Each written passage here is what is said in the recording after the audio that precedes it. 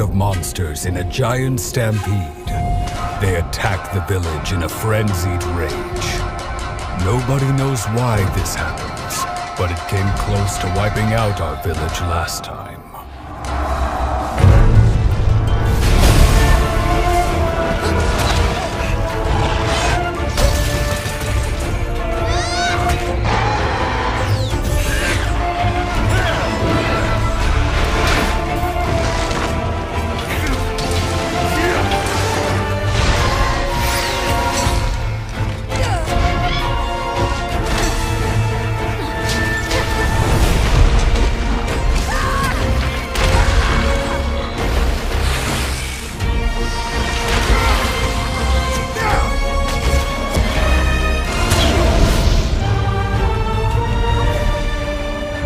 What I call a true hero.